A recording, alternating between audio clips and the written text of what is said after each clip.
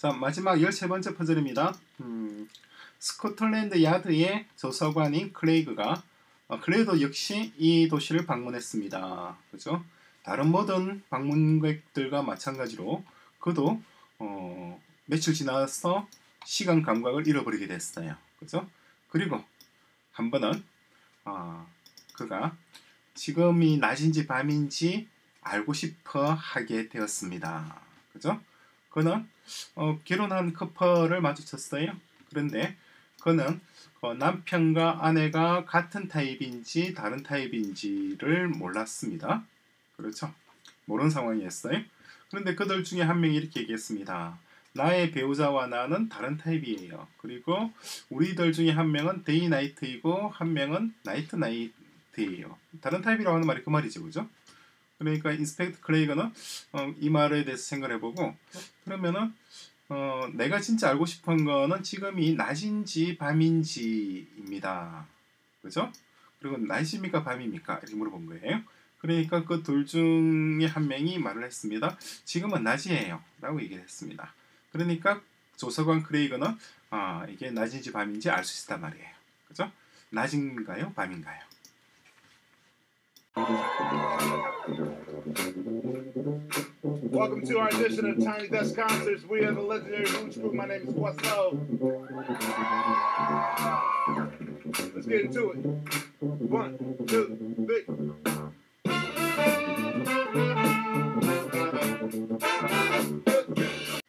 상당히 단순한 거예요. 단순한데도 불구하고 어, 상당히 어렵습니다. 그러니까 간단하면서도 굉장히 어렵 게 어려웠어요. 제 경우는 그랬습니다. 여러분들은 어떻게 쉽게 판단하셨나요? 자, 이걸 한번 논리적으로 분석해 볼까요? 자, 첫 번째부터 보겠습니다. 여러 가지 경우 수가 있는데 일단 가정을 만약에 지금 어, 크레이그가 만난 사람이 부부잖아요. 그죠? 부부고 부부를 만났습니다. A와 B 두 사람을 만난 거예요. A와 그리고 B 어, 만났습니다. 크레이가 대화하고 있는 사람이 A와 대화를 하고 있다고 가정합시다. A, B, C.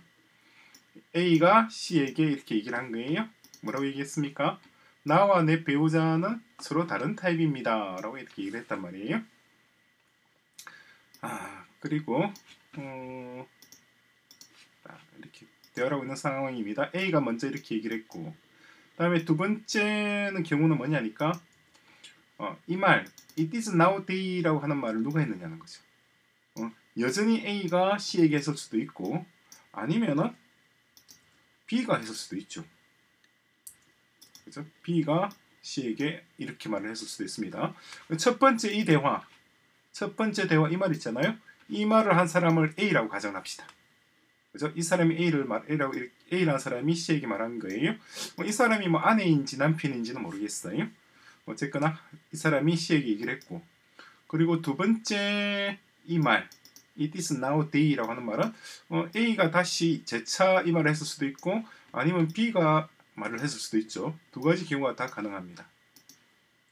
표시를 해놓죠.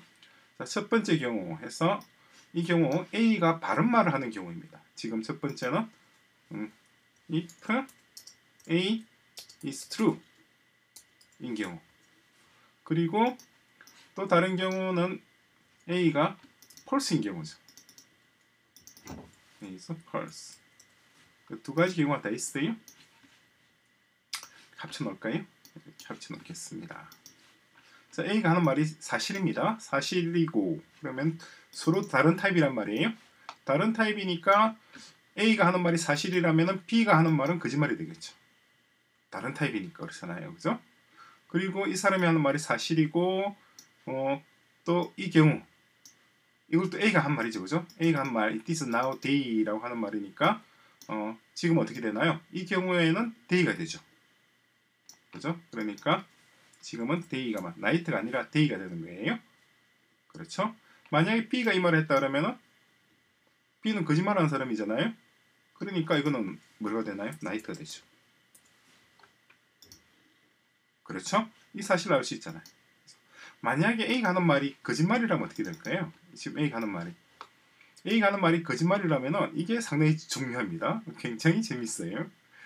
어, 그러면 이 두 사람은 같은 다른 타입이 아니라는 건 말이고, 그죠? 같은 타입이란 말이죠. 같은 타입이라고 하면은 A가 하는 말이 거짓말이면은 B가 하는 말도 거짓말이겠죠. 그죠? A가 하는 말이 거짓말이면 B가 하는 말도 거짓말이란 말이에요. A가 하는 말도 거짓말이고 B가 하는 말도 거짓말이 되는 거죠. 그죠? 그러면은 이 경우에도 night가 되고 day가 아니라 그리고 이 경우에도 night가 됩니다. 그렇죠? 그러니까 어, 이 경우 A가 하는 말이 사실이라고 한다면은 A가 하는 말은 이게 맞는 말이니까 day가 되고 그죠? 그리고 B가 하는 말은 어, 반대니까 day가 아니라 night라고 판단을 해야 되겠죠? 그죠? 그리고 A가 하는 말이 거짓이라고 한다면은 그렇다면은 이 날 이게 now day라고 it is now day라고 하는 말을 어, A가 하든 B가 하든 다 거짓이니까 둘 다 night가 된단 말이죠. 그죠? 그럼 문제는 A가 하는 말이 사실인지 혹은 거짓인지 어떻게 하느냐는 거죠. 어떻게 알 수 있을까요?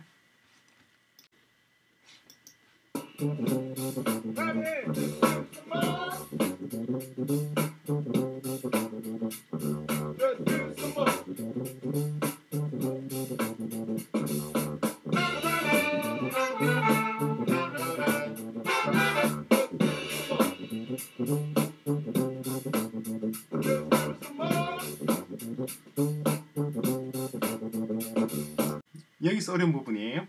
말하는 사람이 A가 대답을 했다 그러면은 그러면 크레이그는 알 수가 없어요. 그죠? 그런데 B가 대답을 했다고 하면은 night라는 걸 알 수가 있죠. 그리고 크레이그가 누군 뭐라고 그랬나요? It was day인지 night인지 알 수 있었다고 돼 있었잖아요. 여기에. 그러면 대답은 누가 했단 말이죠? B가 했단 말이죠. 그리고 그때는 night란 말이죠.